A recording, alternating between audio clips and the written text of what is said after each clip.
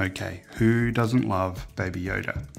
Um, so this is made by Cable Guys. This is a genuine Baby Yoda, either phone holder or controller holder. So my son uses this for his PS5. So that just sits there and obviously um, looks like Baby Yoda is holding his controller for him. So he absolutely loves it. This is made of some pretty pretty decent material. It's nice and heavy. The top does it? Yeah, so the top is fixed. It looks like it swivels, but it doesn't. And this basically, I think, just for packing uh, in a box, just sort of folds up out the way. But um, you would leave this down. Some people put their phone um, sitting there. But like I said, my son puts his, uh, his charger there. So he really likes it. The detail on him is really good actually. I'll just show you from the back. Wow, nice detail on the, the base too.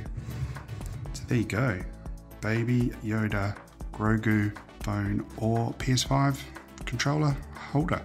He's pretty cute.